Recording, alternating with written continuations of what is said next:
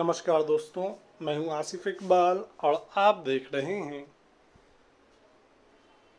Meanings of names आज के इस वीडियो में जानेंगे सांप का स्त्रीलिंग क्या होता है। तो सांप का स्त्रीलिंग जो होता है, वो होता है सापिन शापिन सांप का स्त्रीलिंग, सापिन। आज की इस वीडियो में इतना ही। फिर मिलेंगे एक नए वीडियो के साथ। तब तक के लिए चैनल को सब्सक्राइब करें, वीडियो को लाइक कर दें। धन्यवाद।